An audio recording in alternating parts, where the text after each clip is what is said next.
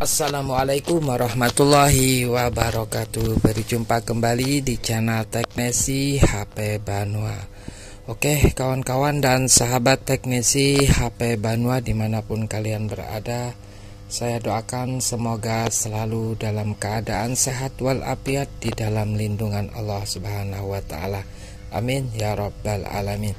Pada kesempatan pagi ini, kebetulan servisnya pagi ya, teman-teman. Baru buka ini saya sekitar pukul 9 ini saya kedatangan servisan ini ya teman-teman pada Samsung J2 yang no power atau tidak berfungsi pada tombol powernya atau tombol switch on off nya seperti biasa ya untuk tipe lama pada Samsung J2 ini kalau tidak salah J2 ya teman-teman uh, itu cara pelepasannya kita memisahkan antara LCD eh, dengan koper penutup belakangnya ini. Itu harus melepaskan bautnya terlebih dahulu. Untuk masalah kerusakannya itu belum kita ketahui ya apakah di tombol atau bisa juga di switch on off nya yang mengalami kerusakan ini durasi sengaja uh, tidak saya percepat ya teman-teman. Supaya real adanya seperti ini saya bongkar dari saya bongkar sampai saya perbaiki ya permasalahan pada Samsung J2 Oke kawan-kawan dan sahabat teknisi HP Banua yang belum subscribe channel teknisi HP Banua silahkan dibantu untuk mendukung channel ini supaya bisa semakin berkembang dalam tutorial perbaikan handphone. Dengan cara kalian subscribe, like, share dan di komen apabila ada kritik beserta saran dari kawan-kawan semua silahkan saja tuliskan di kolom komentar. Dan apabila ingin uh, selalu dapat updatean terbaru ya dari saya. Silahkan teman-teman tekan tombol notifikasi atau tombol loncengnya. Karena insya Allah kalau tidak sibuk saya usahakan setiap hari update tutorial perbaikan handphone tergantung kerusakan yang dibawa di tempat servis saya. Oke ya teman-teman saya kira jelas ya untuk keterangan dari dari saya. Oke ya, di sini saya lihat uh, pada switch on off-nya masih terpasang dengan bagus dan itu tombolnya langsung jatuh saat saya buka. Ini memang agak keras ya untuk bagian atas. Jadi kita harus hati-hati. Nah, ini sudah terlepas.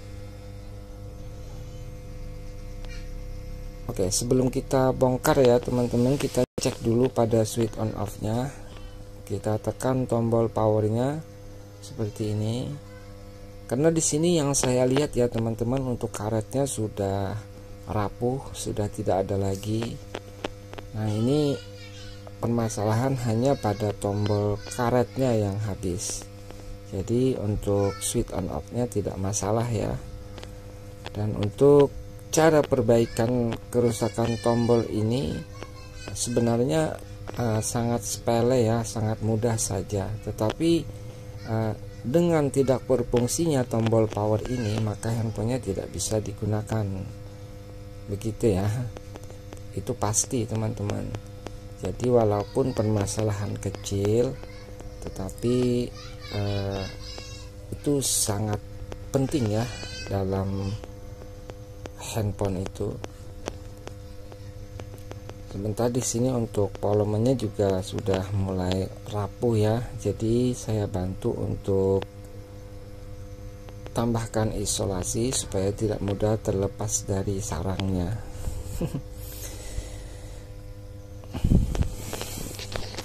Ini kebetulan masih pagi ya teman-teman. Sebenarnya sebelum ini ya sebelum servis ini saya sudah kedatangan juga satu handphone lain tetapi hanya penggantian LCD saja. Nanti kalau memang tidak ada bahan saya coba upload ya. Kebetulan tadi yang datang adalah Samsung A10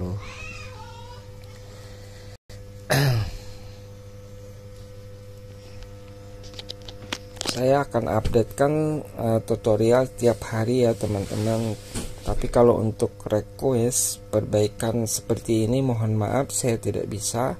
Karena saya servis tergantung uh, keluhan dari pelanggan yang orang sekitar saya yang bawakan handphone rusaknya ke tempat saya.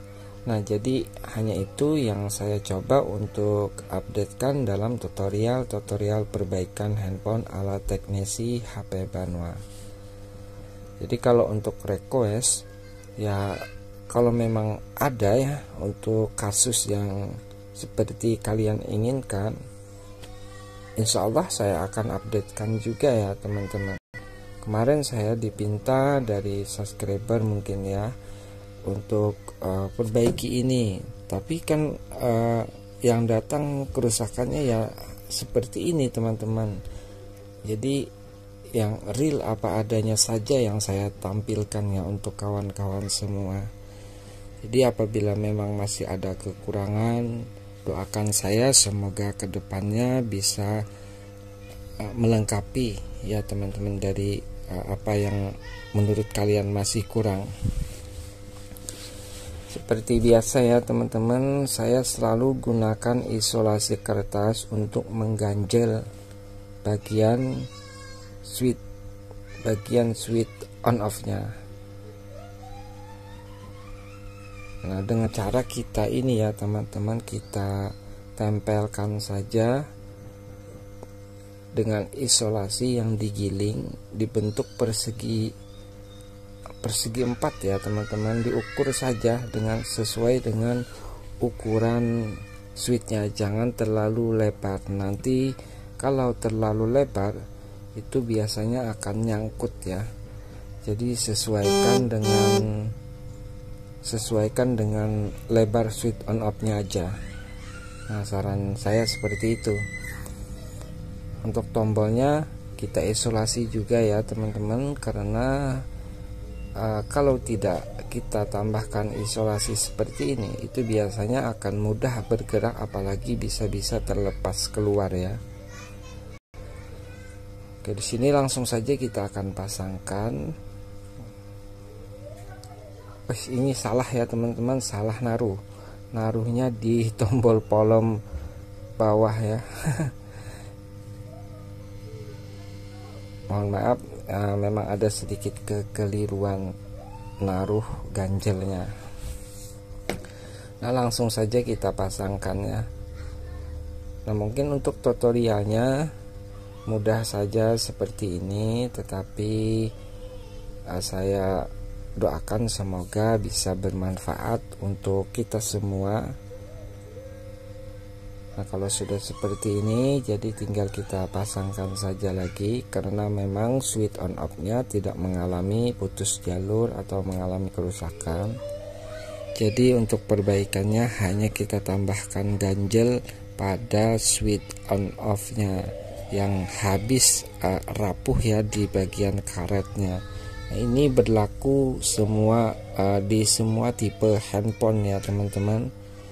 Uh, sejenis yang uh, switch on off seperti ini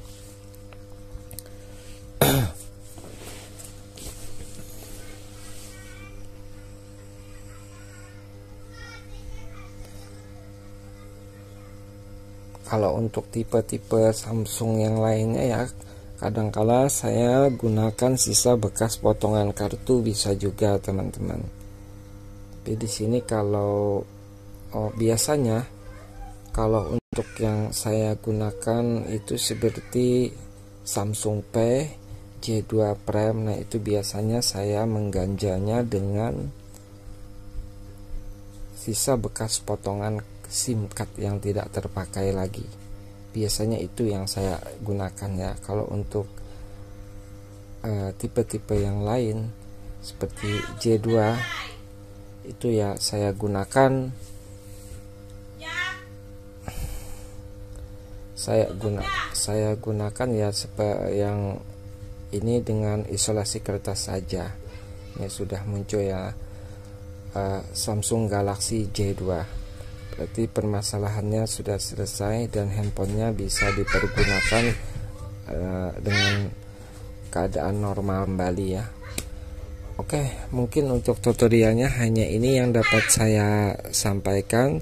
Semoga bermanfaat. Apabila ada kekurangan, silahkan teman-teman uh, tambahkan ya, tuliskan saja di kolom komentar apa yang menurut kalian masih saya perlu benahi dan ataupun kalian berikan spot serta semangat untuk saya silahkan tuliskan saja di kolom komentar.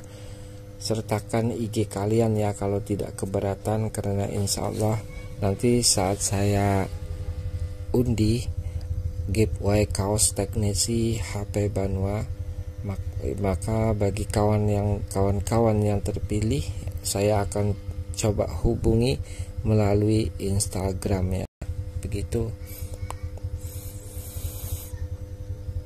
Oke ini handphonenya sudah normal kembali. Sudah tidak ada lagi yang perlu saya sampaikan ya teman-teman. Dan saya akhiri saja. Wabillahi taufik wal hidayah. Assalamualaikum warahmatullahi wabarakatuh. Salam teknisi HP Banua. Doakan supaya sukses selalu Dan dalam rahmat dan ridha Allah subhanahu wa ta'ala. Amin ya rabbal alamin. Salam teknisi HP Banua